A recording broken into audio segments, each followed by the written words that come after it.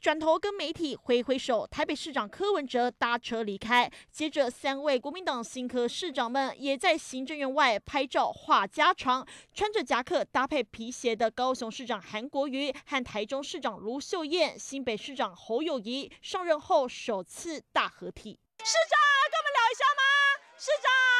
挥挥手准备走人，恰巧碰上桃园市长郑文灿热情打招呼，两人靠近聊得起劲，搭肩扶腰讲了一回之后各自离开，却也让在场的媒体很错愕，因为原定侯友谊会接受访问，临时大转弯上车走人，到底院会谈了什么？六都的市长里面，柯市长跟郑市长今天没有发言，中央不会分党派。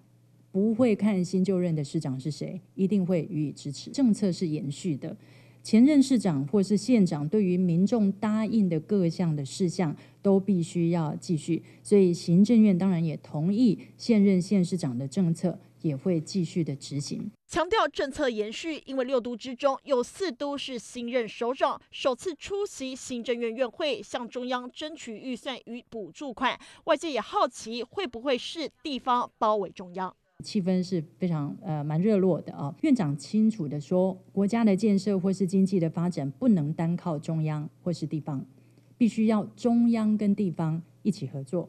强调气氛很融洽，政院给予支持不会分党派，但地方蓝大于绿是事实。经费分配与澳元未来角力少不了。环宇新闻简玉玲、林继祥、陈怡荣台北报道。